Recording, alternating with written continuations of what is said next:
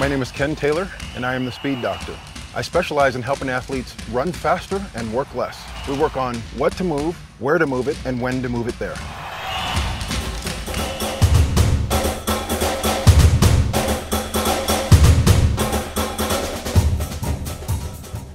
The following video is a live look-in to a personal video analysis. These speed training video analysis helps the athlete learn about their own running form and movement mechanics, and the corrections that need to be made in order to run faster and work less. As you look in, are there any teaching points within this video analysis that apply to you? Can you use any of these tips to help you achieve better running form to help you become a faster athlete? Let's take a look in and see what we can learn. We can also see how low your foot comes through here. We don't want the back kick to be really high like up here, but we do want it to be around here, right up under your hamstring. Okay, you see how your foot goes low right there? Okay, so it's like your foot is on the way to a good position to be high, and then all of a sudden it just kind of drops very low. So it's hard to get that bounce off the ground uh, when your foot is really low to the ground. Okay and there's the leg position there. Uh, let me draw it one more time. Okay so your knee is here okay your back leg is already straight. Look at your back leg right here. That is nice and straight. You're almost off the ground here. Then this knee is about 10 inches too low. It should be about right there. And then that lower leg should already be about right there ready to step down. So actually, look how close you are. You're, you're, you're pretty close to being there. You only need a uh, 9 to 10 inch improvement on your range of motion while you're in motion.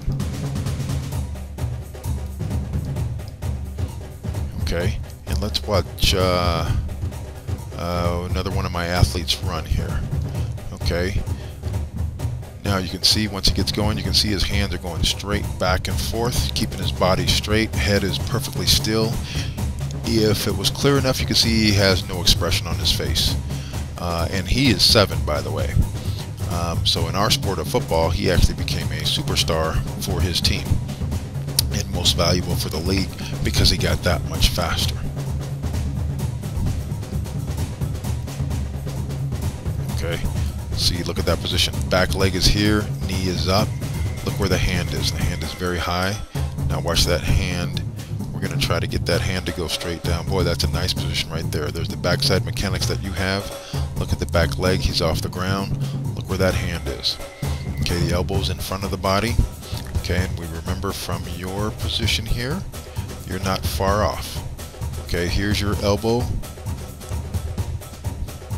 Okay, there's your knee, that's kind of low. Here's your elbow. Your elbow should be more in front of you with that hand all the way up in this position right here, if you can see the little white arrow. Okay, going back to Abe.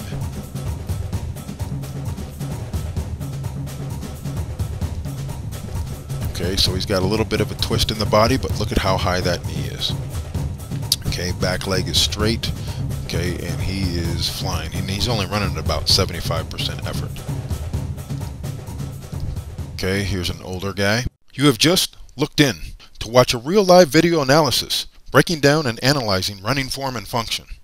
The goal is to help the athlete see their personal running form errors and corrections needed to become a faster athlete.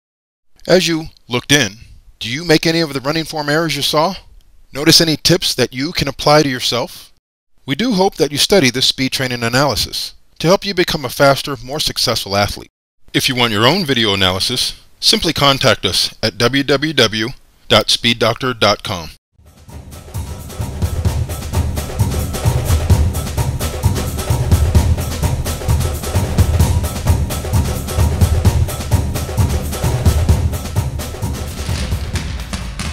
Thank you for watching. You too can be faster.